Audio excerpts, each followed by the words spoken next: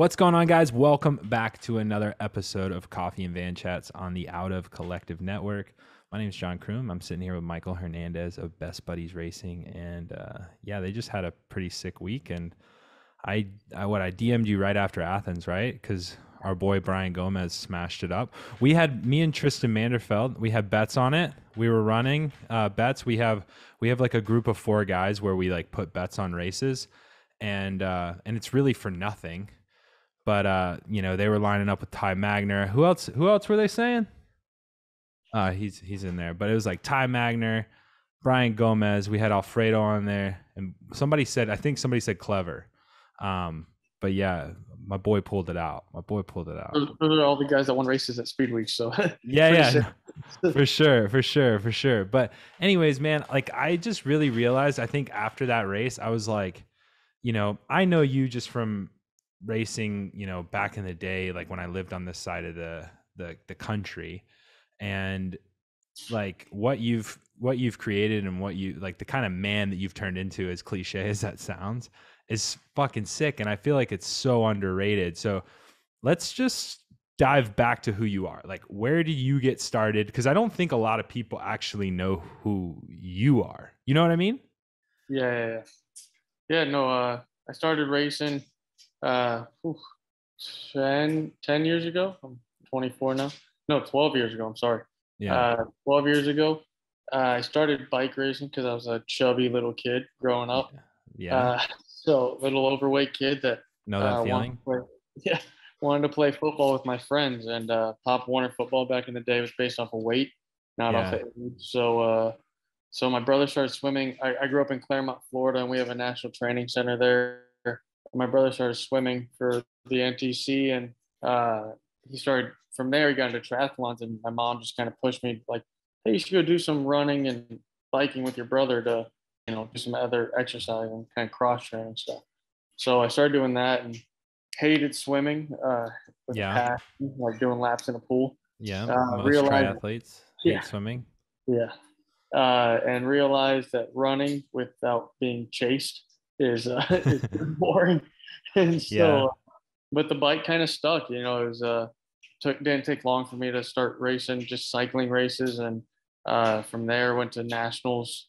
Uh, my second year racing, uh, podiumed in the time trial there, and uh, got on Slipstream Craddock, raced with them for two years, and then uh, moved over to Hot Tubes, and that was kind of where I decided, like, hey, I want to try to make a job out of this. yeah no you're good All my text just decided to come to my computer at one time. No, no worries, man. No worries. Um, and yeah, so but like I think the craziest story about you is it's like, you know, it goes it goes from Garmin and like you're on the you're in on the cusp of like there's this world tour option, I think, you know, and like and I, I don't know who I was talking to the other day, but it's like you get 10 kids on Lux and it's like you got Magnus Sheffield and uh, and a Quinn Simmons and it's like th- in a lineup a lot of those guys are you know the other eight guys are just as good you know and like Yeah, could yeah. probably go and get that opportunity but they can't take 10 guys straight Yeah. in, into Europe or even on rally like there's only so many spaces and and I feel like you were kind of one of those guys but instead of turning it into a sour moment like you went on and you you, you rode for Aevolo and then you had the Amgen Tour of California you had some pretty solid results there why why did it stop there like did was there was it just no contracts or like what was up Yeah, it was a weird year. I think, uh, you know, I, I spoke about this uh, not that long ago, and it was a year that there was a lot of good kids in that U23 range that all moved up to either pro conti or world tour teams. And I think teams were just looking for like that more European racer. yeah And I think personally that I do race relatively well in Europe. I think my skill set suits European racing well. I just didn't have enough exposure over there, in my opinion, to like, you know, just reps in Europe. You're eventually going to get those results if you're suited for that kind of racing. yeah And so I told myself at the age of 19 when I joined CCB that if I don't make it you know, to World Tour, what I consider making it is you're making a living off of bike racing. Like that's your soul. You know, you can be independent off of cycling. And, uh, you know, if I didn't make it by the time I was U20, uh, done with my U23 career, I was going to focus on school and then try to re, you know, refigure out my life from there. But, you know, yeah. school was definitely, my mom was a school teacher. So, you know, the school option was always like, hey, yeah. When are you going to go to school? Yeah, yeah, no, for sure. And so, where does that where does that come in now? Like, are you in school now? Are you studying now? Yeah, I'm, I'm, I'm, done with school. So part of being yeah. on Aevolo is that you have to be in some form of form of education. Oh, and really? So throughout uh, all throughout my U23 career, I was uh, one or two classes a semester, and so uh, I was fortunate that once I finished my U23 career, all it took was a a year, yeah, a year, so two semesters of uh, full course load, and I finished in 2020. Okay, and then how does Best Buddies come? Because that's that's literally what happens, right? Yeah, it's like yeah. this birth of what I like to say what I what I thought was a retirement tour and like it literally people were making fun of you guys actually and I know Eric I I know Eric Eric Marcotte and so like I was joking a little bit with him and um, but then you're seeing the likes of Travis McCabe, Ben Wolfe, um, Danny Summerhill, good friend of mine as well.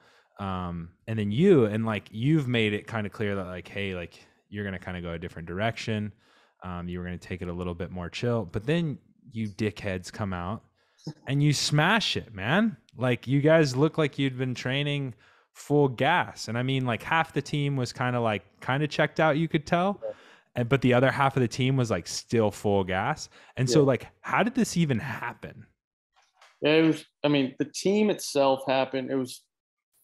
I mean, it was just a lot of, I guess, stars aligning of things. Like, you know, I, I have a college degree in criminal justice, so nothing to yeah. do with with management or yeah business anything. So, yeah. uh, you know, I was just down in Miami spending some time with friends, and uh, I happened to just run into Anthony Shriver on a group ride in Miami, and uh, they run a bunch of you know weekly rides and stuff like that. He's the founder of Best Buddies, and uh, you know he we started talking. He invited me to do one of their big charity rides here in Miami, and uh, he liked how I interacted with the donors. He liked how I interacted with the buddies, and he just asked me if I thought that bike racing competitively was a viable way to raise money and spread uh, awareness for best buddies. Yeah. And I said it is if we get enough attention and we do the right races. And so the first person I went and talked to about this was Travis. Yeah. You know i had this i had this crazy you know this crazy guy it's like hey you want to put a bike team together?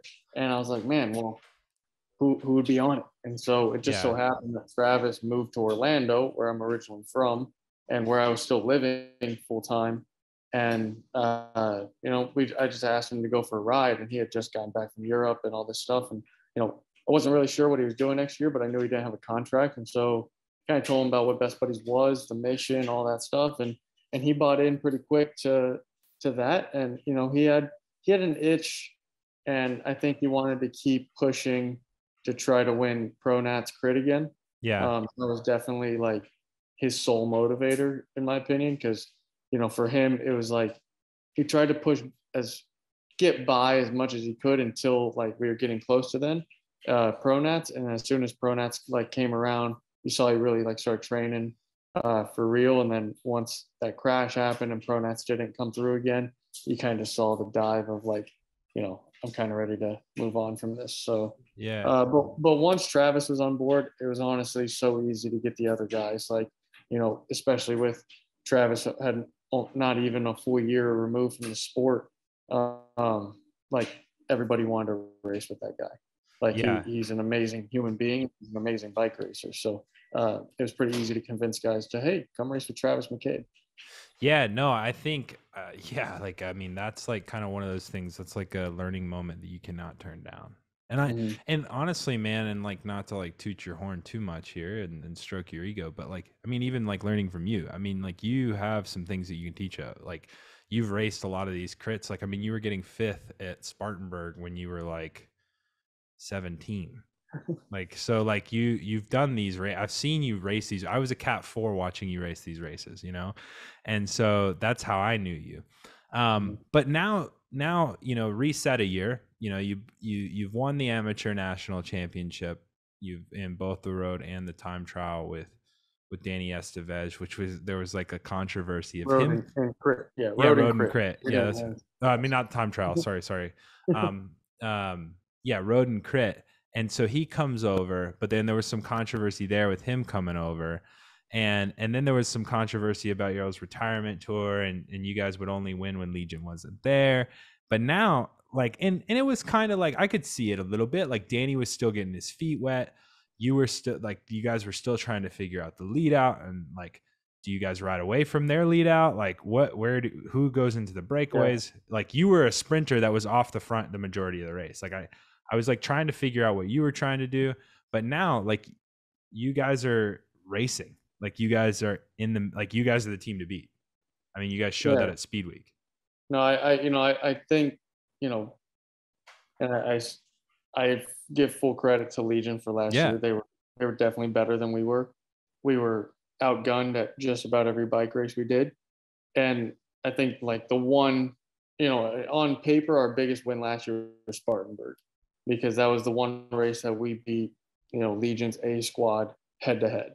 And Yeah. that was like that was Estevez's breakout moment. Like, you know, people were like, oh, yeah, he won elite crit, he won elite road race, whatever. Like, there was no Legion there, blah, blah, blah. And same thing, you know, we won El Paso. I mean, Summerhill won uh, Birmingham, and Legion only had four guys, but we only had four guys. yeah So it's like, it wasn't always like, oh, you know, they win when Legion's outnumbered or whatever. But, um, but yeah, I mean, Spartanburg was definitely the biggest on paper result for us last year because of the field size. And, um, but we saw, you know, we saw the pieces were there. We were missing, we were missing, you know, a few pieces, but we saw we had the potential and we had the support. We had the, you know, the drive and bringing Summerhill and Estevez in really upped our game last year. And both those guys were late additions. Summerhill came in uh, just before Sunny King, and Estevez came in uh, right after Tour South Florida. yeah So uh, you know, those were those are big big additions, and I think it really raised the level of like, you know, this is what we're trying to do, yeah and that became attractive to other teams. Because I think last year people saw we were the only team that was even knocking on the door of Legion, and Yeah, I mean, like the only thing, and I keep saying this, hoping that Justin's listening. The only thing I wish he would do is I wish he would split him and Corey up, and I think he's gonna do it too late to where he retires. But I would love, like, how dope would it be if Corey yeah, was yeah. on on Blazers, and then you had, you know what I mean, and you just Yeah, like yeah, you stack these like three teams, and they're all just going head. to It would just be sick, but I don't think he's gonna do it. But anyways, um, possibility. yeah, yeah. But anyways, I like results aside, um, there's more mission to Best Buddies that, you know, and even I kind of dove into it when I talked to Travis about a year ago. And I think it's kind of dope what you guys are doing because I think you guys even missed out on one of the crits, the big money crit in um that Justin put together because you guys had already had a sponsorship um Well, we didn't get invited last year, so that was part of it.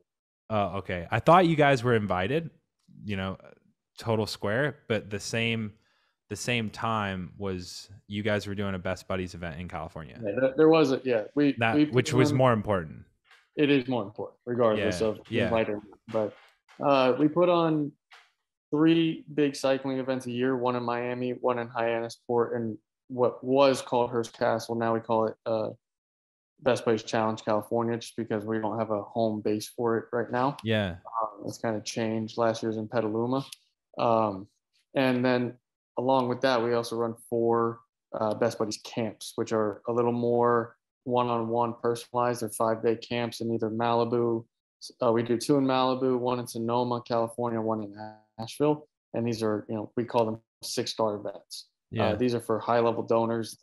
Uh, donate a large amount of money to Best Buddies, and you know, there's different event levels and sizes and things like that. But uh, you know, and then we try to show them the same level of excellence that we expect in our programs and our leadership, everything. And, and Best Buddies is all about excellence and raising the the standard for people with intellectual disabilities and showing that you know anybody with a disability can do anything with that someone without a disability can the same level of excellence and that they also deserve that same level of excellence and respect and opportunity through Yeah. everywhere, every aspect of life, whether it be education, jobs, you know, relationships, everything. So, uh, you know, we, we cover the whole spectrum and, uh, and we try to cover as much of, you know, from elementary school through end of life, um, you know, of, of age range of people with disabilities as well.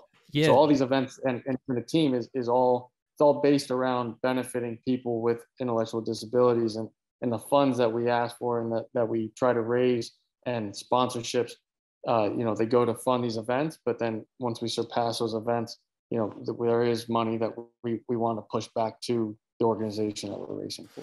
which is insane man like because uh, you know i've seen we've we've seen a lot of teams you know it's like you know the and they fizzle out you know they fizzle out pretty quick because you know the money goes into one dude's pocket or whatever and then you know they create this pyramid scheme where guys are funding their way and whatever else and you know what i'm talking about man you know what i'm talking we can't talk about it on this podcast but you know what i'm talking about so then so then to see you guys with an actual mission and what's cool is is like there's a buddy at every single race Yeah. right That that for me is is my goal. Is a buddy at every big race we do. Like it was it was you know winning Athens was awesome, but Yeah. being able to give our buddy Noah the trophy after Athens was a thousand times cooler. So oh so was- he got the trophy got to keep the trophy yeah yeah Gomez gave it to him. Yeah, that's so, uh, amazing Gomez, Gomez gave it to him to take it home. So like that was, you know, that's something that, you know, I I have hundreds of trophies. Uh, Yeah. you know, whether it be a medal, a trophy, whatever it is, like from local races. they sit in a box Exactly. Yeah, yeah Sitting on it doesn't matter. I, like my Yeah. national, I don't even know where my national champion jersey is. yep yep it's a No, but- savage feeling and it's a savage Yeah. thing to say but it, it is true But yeah, it, it's you know, cycling is a sport that that stuff becomes secondary and quickly forgotten. yeah I guarantee nobody could tell you who won Athens Twilight nine years ago, like off the Yeah. top of their head, you know. And so that trophy for Gomez is a is a momentary reminder of an accomplishment, and for the team, it's a momentary reminder of accomplishment. But for the buddy, it's a lifetime of remembering that he belongs somewhere.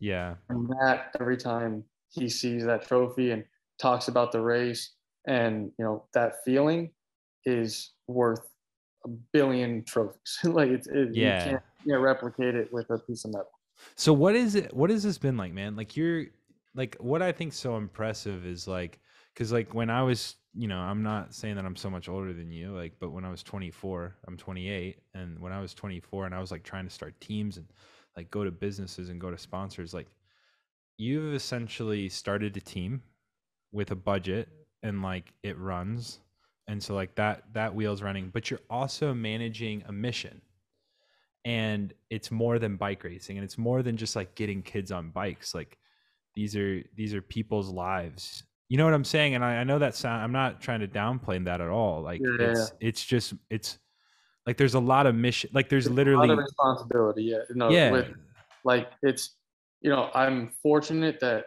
you know it might seem like oh mike runs the whole shebang and even last year before this year with craven he has taken so much responsibility of the cycling stuff off my shoulders that it's been amazing. Last year i had so much help from richard Fries, and you know he's worked for best buddies for close to 20 years and so he really understood the internals of how best buddies works.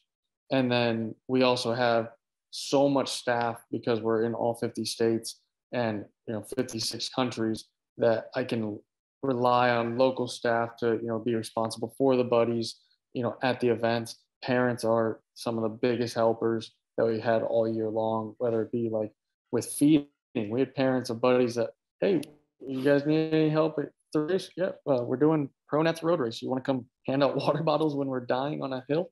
So uh, so you know like we've had so much help from the organization itself and without that you know there is no best buddies racing without the organization Well, yeah, it's just so cool how it's all one big circle, I guess, is like what's cool to me. It's like you guys are helping the organization. The organization is coming into this.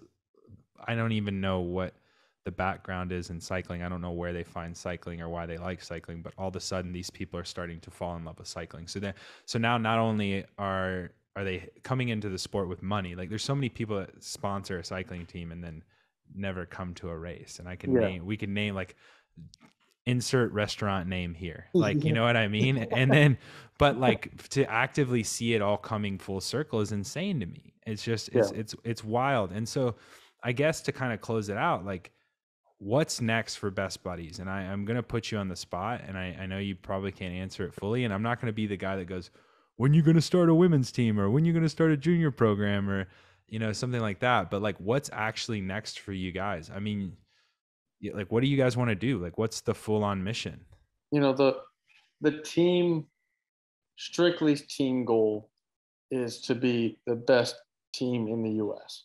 You know that right now that is what we want to accomplish. That you know what does it take financially, uh, staffing, all that to become the most you know sought after team because of the attention that comes with that. Yeah. And the and how we can push that attention for best buddies.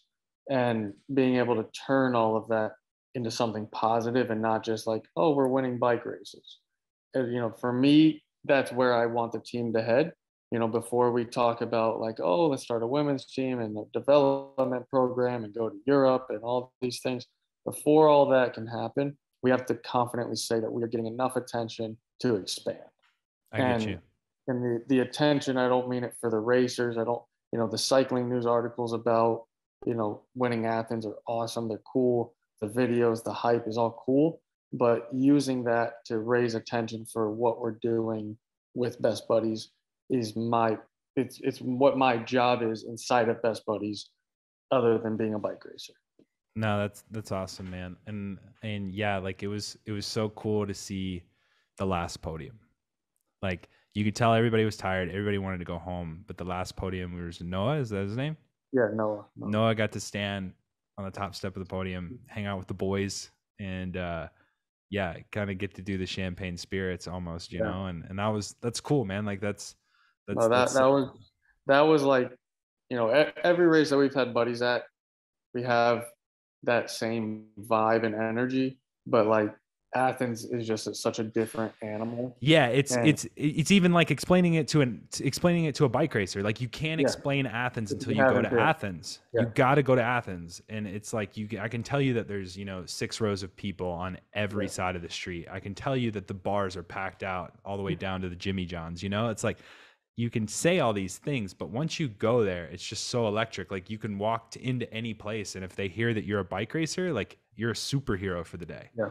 Like it's un, it's insane. It's uh, which is crazy. Like being in Georgia and uh, actually being respected for being in spandex. Um, campus yeah, yeah, on a on a very very packed out D1 college campus. So it, like they love they love Yeah. Athens Twilight. Yeah, like I mean, we- boys love love that you're a cyclist You're yeah, "Weird." it is a weird time. It is a weird time. It's also hard to soak in. But, anyways, man, uh, I don't want to keep you all night. I got one more question for you before we close out. Um, if you could have a cup of coffee with one individual, dead or alive, who would that individual be and why? um This always throws everybody for a loop, but it's perfect. like cyclist or Anybody, man. That's then that makes it harder. So like, yeah, anybody. Like just somebody that you would want to have coffee with. And then how would you take your coffee and then why? well she didn't drink coffee but i would have to say my mom Your- because Your mom? I, I miss her so uh Yeah. so yeah if i if i got the opportunity just to talk to her again that, that would be why No, that's that's something special, man. And I know she'd be proud and stoked on what you're doing, man. I would take my coffee iced i don't like hot coffee uh, with oat milk and an extra shot of espresso Sweet, man. Nah, that's super cool. Yeah, like I said, man, she'd be stoked on what you're doing because I know a lot of us are stoked on what you're doing. And, you know, also you. you guys um he i will post a link down in the description below for best buddy he's also been posting it on his story but he's personally raising money through a fundraiser on his story so if you guys want to go donate to that it's a thousand bucks i know somebody that listens to this podcast right now could probably donate a thousand dollars Um, and so if you do, let me know, and I'll send you a care package from Top Tube Coffee and myself. Um, that'd be sick. And I know Out of Bounds Podcast is going to donate some money to Best Buddies for you, my friend. Um, Thank you. and and say yeah, congrats on winning Athens and and a successful week at uh at uh Speed Week, man. But uh, other than that, More we'll see come. you. We'll see you next time, guys. And uh, yeah, cheers.